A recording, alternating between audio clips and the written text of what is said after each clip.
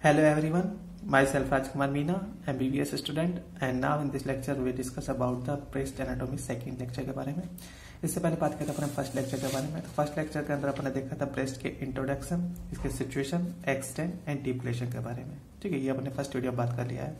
अब बात करते हैं इसके structure blood supply and nerve supply के बारे में। तो इन तीनों टॉपिक अपन इस वीडियो में कवर करने वाले हैं। सबसे पहले बात करते हैं इसके स्ट्रक्चर के बारे में। तो स्ट्रक्चर को पढ़ने से पहले अपन इसके एक डायग्राम को समझ लेते हैं। उसकी हेल्प से अपन इसकी स्ट्रक्चर पढ़ेंगे। तो देखो, अपना ब्रेस्ट कहा था? अपने पेक्टोर की सुपरफिशियल फेशी में। ठीक है? ये हो गया अपनी सुपरफिशियल फेशिका पेक्टोर रीजन की। इसके आगे एक तरफ़ ये स्किन हो गया, ठीक है? पीछे एक तरफ़ क्या मिलेगा? डीप फेशिका मिलेगी, फिर पेक्टोरिस मेजर पेक्टोरिस मेजर के पीछे पेक्टोरिस माइनर अपन जब पेक्टोर रीजन का डायसेक्शन करते हैं तो सबसे पहले अपन को स्किन मिलती है, फिर सुपरफिशियल फेशिका मिलती है, फिर डीप फेशिका मिलती है, फिर पेक्टोरिस मेजर फिर पेक्टोरिस माइनर तो इस टाइप में एंटीयर टू पोस्टियर इस टाइप मिलती है, ठीक है? अब ये हो गई स्किन तो स्किन में क्या मिलते हैं? निप्पल मिलते हैं। निप्पल ये कॉनिकल प्रोजेक्शन ली हुई है ना, ये निप्पल है, ठीक है? और इसके नीचे की तरफ़ जो अपने ये है सर्कुलर पिगमेंटेड एरिया ये पिगमेंटेड एरिया ये है अपना एरियोला जो अपने निप्पल के बेस का फॉर्मेशन करता है। ठीक है स्किन के अंदर तो ये दोनों है। फिर अपने ये सुपरफिशियल फेशिका मतलब अपने ब्रेस्ट के अंदर की तरफ़। तो अंदर की तरफ़ इसमें पैरन कायमा होते हैं, ये अपने पैरन कायमा है। पैरन कायमा के अंदर क्या होता है कि लोब्स वगैरह होते हैं। ठीक है, इसे अपनी ट्रू मेमोरी ग्लैंड भी बोलते हैं मतलब मेमोरी ग्लैंड बोलते हैं। क्यों बोलते हैं? क्योंकि इसमें जो ये एल्वेलाई है ना, इनसे मिल्क का सिक्रेशन होता है। ये इस टाइप में मिल्क का सिक्रेशन होकर और इन डक्ट के थ्रू और ये निप्पल के अंदर एंट्री कर जाते हैं। ये अपने लैक्टिवेरियस डक्ट है। लैक्टिवेरियस डक्ट से जो अपने निप्पल के अंदर एंट्री करते हैं। जितने अपने लोब्स होते हैं, उतने ही लैक्टिवेरियस डक्ट होते हैं। एक लोब के अंदर एक ही लैक्टिवेरियस डक्ट है, ऐसे देखो। तो total fifteen to twenty lobes होते हैं अपने तो और इतने ही लैक्टिवेरियस डक्ट अपने निप्पल के अंदर ओपन होते हैं। ठीक है, ये अपने पैरेंकाइमा के बारे में हो गया।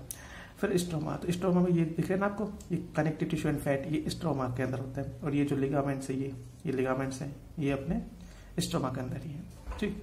तो ये तीनों पॉइंट्स के बारे में एक रिव्यू हो गया। अब बात करते हैं इसके तीनों पॉइंट्स को डिटेल से। तो देखो, सबसे पहले बात करते हैं स्किन के बारे में। स्किन के अंदर आते हैं अपने निप्पल एंड एरियोला निप्पल होती है, एक कॉनिकल प्रोजेक्शन ली हुई होती है। ठीक है? ये कहाँ प्रोजेक्ट होती है फोर्थ इंटरकोस्टल स्पेस में। अब निप्पल अपने ब्रेस्ट के बीच में तो होती है ना? अब ब्रेस्ट सेकंड रिप से सिक्स रिप तक एक्सटेंड करता है तो इसके बीच में कौन सा हो गया? फोर्थ रिप फोर्थ रिप से थोड़ा सा नीचे होता है मतलब इसके सेंटर से थोड़ा सा नीचे मिलता है अपना निप्पल अब फोर्थ एंड फिफ्थ रिप के बीच में मतलब तो यानी अपने फोर्थ इंटरकोस्टल स्पेस में ये निप्पल मिलता है। इसके अंदर क्या होते हैं? Content circular and longitudinal smooth muscle इस circular and longitudinal smooth muscle को कंटेंट करता है। ये मसल्स क्या करवाती है? इसे निप्पल को स्टफ़ करके रखती है एंड फ्लैट करके रखती है। ठीक है? एंड निप्पल के अंदर हाईली रिच नर्व सप्लाई होती है। अब निप्पल के अंदर अपनी जो लैक्टिफेस मतलब लोब्स थे लोब्स के से मिल्क सिक्रेशन हो रहा था एलवेलाई से, वो डक्ट के थ्रू और निप्पल के बाहर की तरफ़ ओपन हो रहे थे ना तो लैक्टिफेस डक्ट ओपन करा रही थी। तो अपने 15 टू 20 लोब्स थे तो अपनी लैक्टिफेस डक्ट भी कितनी होगी? 15 से 20 फिर क्या अपने एरियोला एरियोला क्या होता है? अपने निप्पल के बेस का फॉर्मेशन करवाते हैं। ये अपने सर्कुलर पिगमेंटेड एरिया होता है। एरियोला के अंदर क्या मिलते हैं? अपने मोन्टगोबरी ट्यूबरकल मोन्टगोबरी ट्यूबरकल क्या होता है कि अपने एरियोला के अंदर सीबीसीएस ग्लैंड की छोटे छोटे दाने जैसे होते हैं। ये दाने जैसे जब अपने प्रेगनेंसी का टाइम आता है ना तो उस दौरान इनका साइज़ बढ़ जाता है। ठीक है तो इसका क्लिनिकल भी मोन्टगोबरी ट्यूबरकल इनका साइज़ कब बढ़ता है? इलाज कब होता है? प्रेगनेंसी के टाइम में। तो ये अपने स्किन के बारे में होगा स्किन के अंदर अपने निप्पल एंड एरियोला मिलती है। निप्पल के बारे में दो चार पॉइंट है कि ये कॉनिकल प्रोजेक्शन दी हुई होती है। फोर्थ इंटरकोस्टल स्पेस में होती है। इसके अंदर अपनी circular and longitudinal smooth muscles होती है।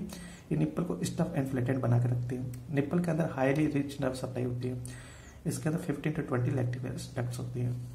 फिर एरियोला के बारे में था तो ये अपने निप्पल का बेस का फॉर्मेशन करती है। इसके अंदर अपनी सर्कुलर पिगमेंटेड एरिया होती है एंड मोन्टगोमरी ट्यूबरकल करती है। ये अपनी सीबीएसएस ग्लैंड्स होती है, जो अपनी प्रेगनेंसी के दौरान इनका साइज़ बढ़ जाता है।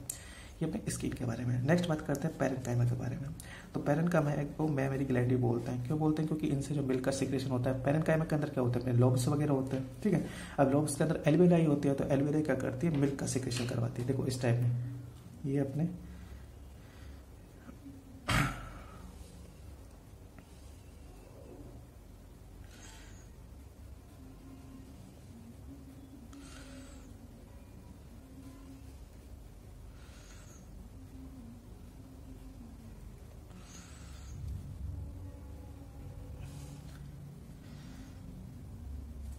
ये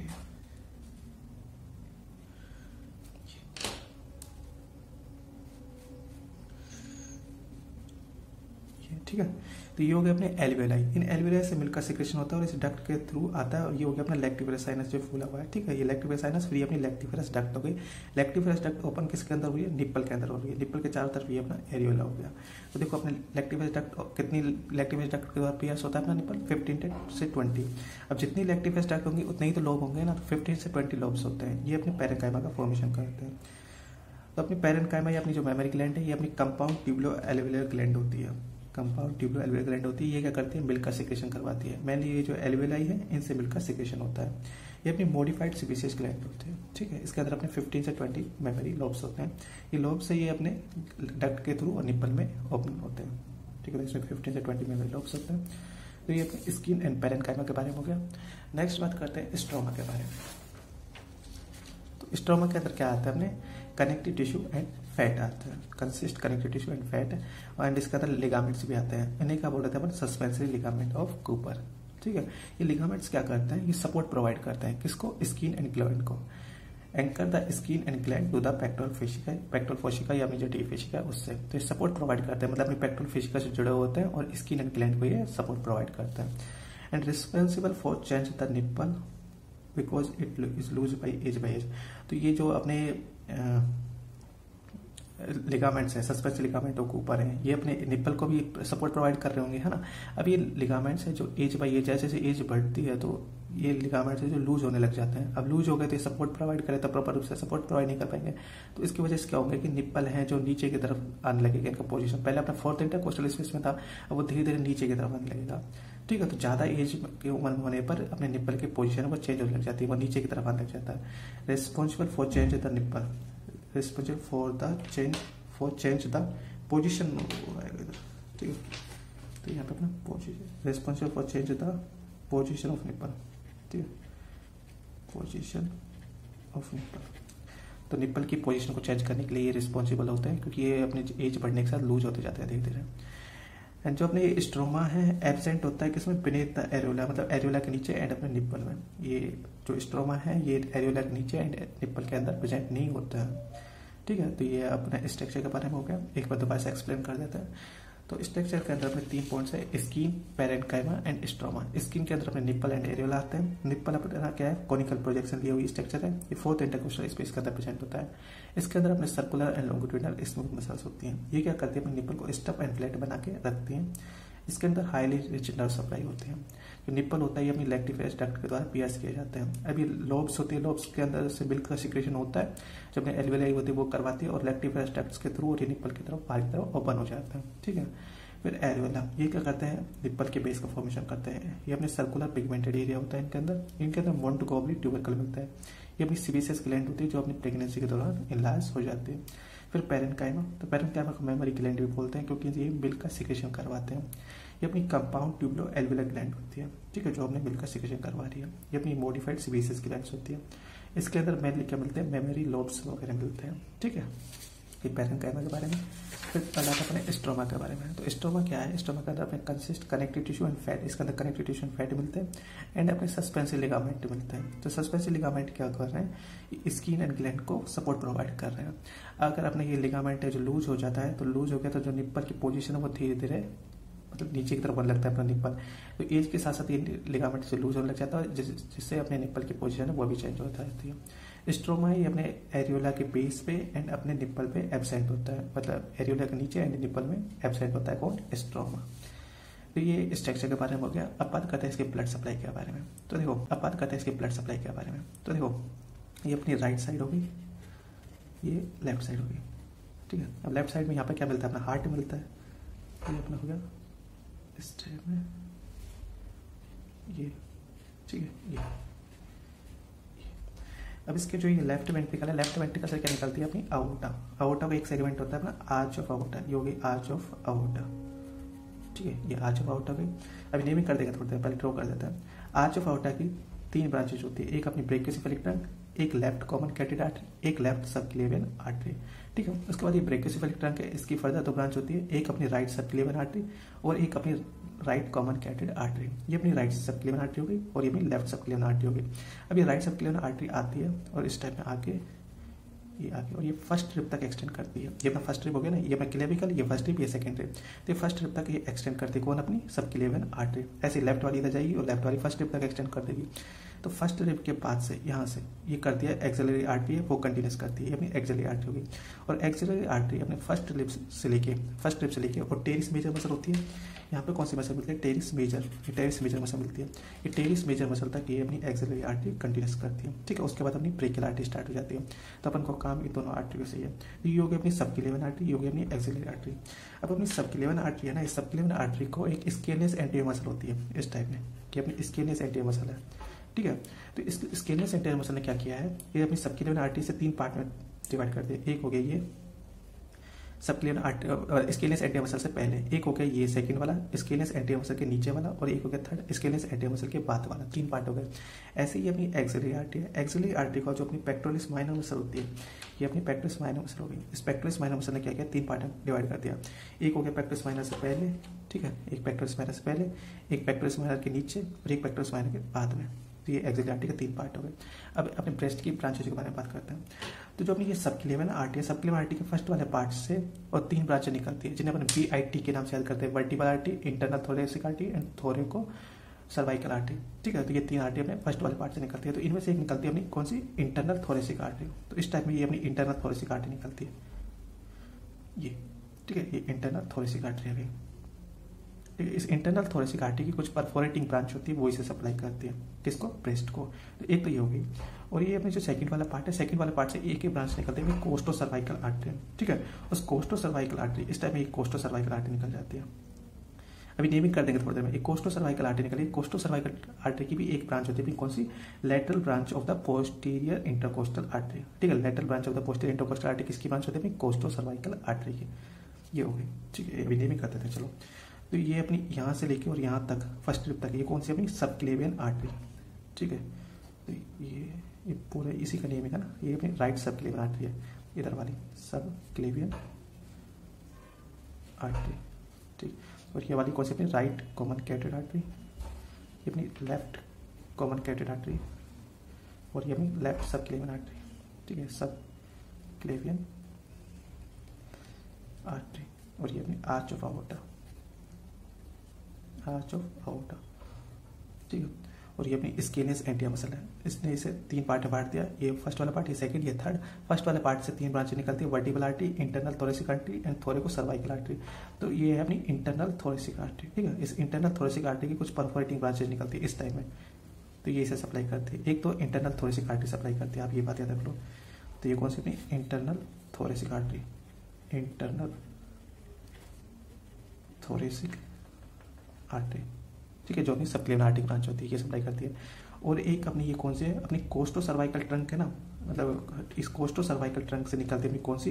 लेटरल ब्रांच होता है पोस्टीरियर इंटरकोस्टल आर्टरी तो ये अपनी लेटरल ब्रांच होता है पोस्टीरियर इंटरकोस्टल आर्टरी से सप्लाई करती है।